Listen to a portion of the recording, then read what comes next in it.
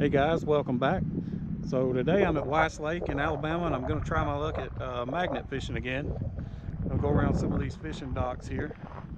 Pretty good sized place. Anyway, uh, last video I was using a 500 pound magnet with 65 feet of line, which seems like overkill for what I'm doing here. So I got a uh, 330 pound magnet with 25 feet of line. We'll see how that goes. It's kind of windy here today, so hopefully the audio turns out okay. But anyway, I'll get back with you on the first good find. Oh, we got something on there. What is that?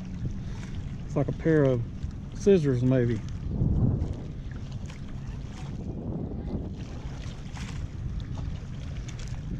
Or maybe not. What is that?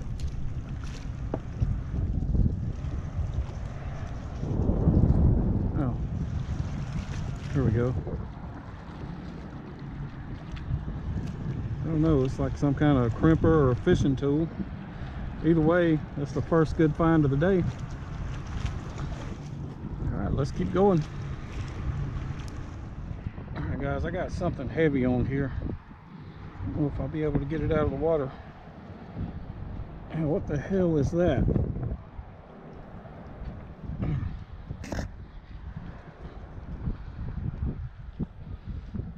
Wow. It's like a maybe a door off of a iron stove or something. I don't know.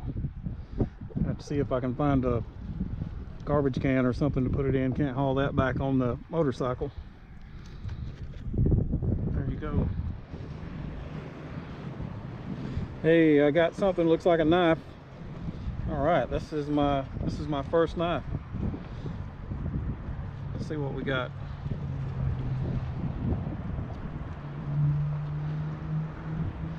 Bone handle. I don't see any writing on there.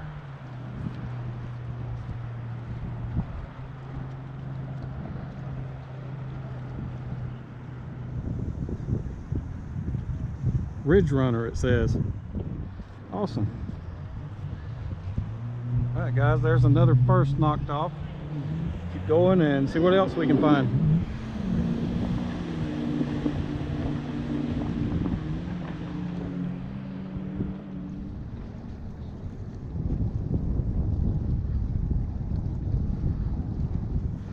I got something on there. What is that? Ah, That's a paper clip.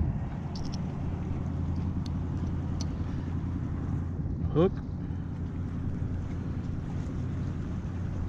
And the sinker.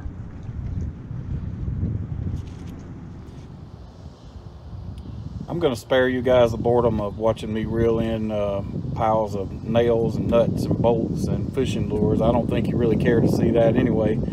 I'll just show you the best finds of the day. Uh, got this little knife. That was my first knife magnet fishing. And the brand name is Ridge Runner. I've never heard of it before and I looked it up. I don't think it cost but a few dollars, so nothing fancy there. Uh, got this one. I found this one sticking out the side of the bank little butter knife that says USN. I don't know if that's uh, United States Navy or what, but I thought that was kind of neat. And this thing I looked up and it's actually made for fishing. It's for crimping on uh, weights and that kind of stuff. Little fishing tool. I've been doing a lot of metal detecting lately. It's just been too hot, but uh, did mess around out in the backyard a little bit and popped up a chewed up mercury dime. I think it's a 1920 but other than that, that's about it. Hopefully it'll cool off here in a couple of months and I can get back out and get back at it again. But there you go, guys. In the meantime, I'll be enjoying the magnet fishing. Thanks for watching. Happy hunting.